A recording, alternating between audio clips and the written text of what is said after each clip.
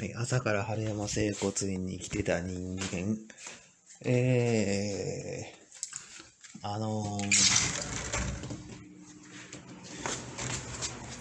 立花商会と呼ばれている、まあ、どっからお前本当なのかな？その人なのかな？やっぱり神戸331、86の58。違うものかな？どうかな？違うものやな。ああ。G。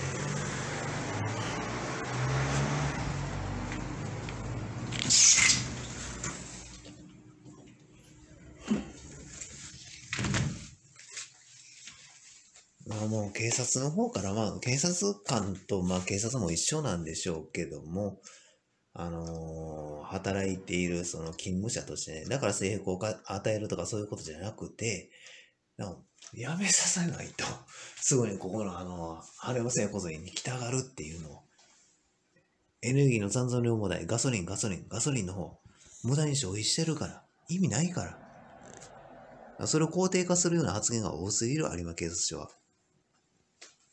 なんかこうね、あの、だから、誰が何言ったかで判断したらいいんですよ。有馬警察署で。春山整骨院をかばうような言い方をした人間が悪いっていうことでいいんですよ。その警察官が怪しいっていうことで。これが世界への SOS。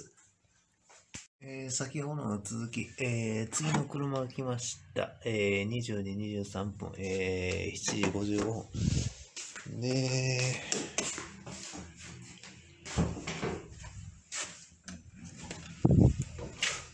もういつもと同じパターン。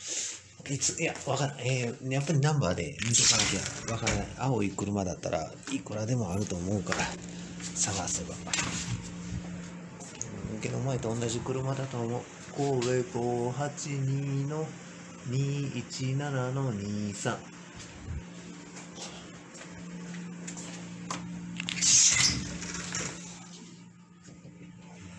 何しに来てんのかわからん、本当に、この車。そもそも電気つらついて。建物の中。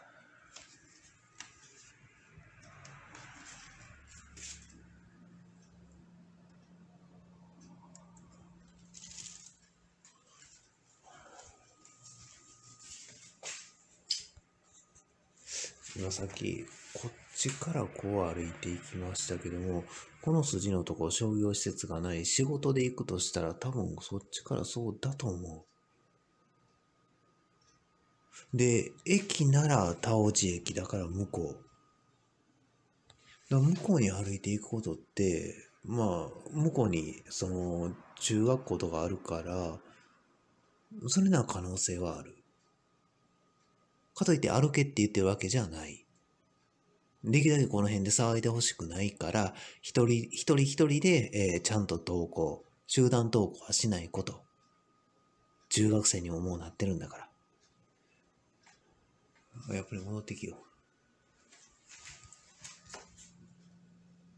バレたの方とちゃうんかな。何かごまかそうとして、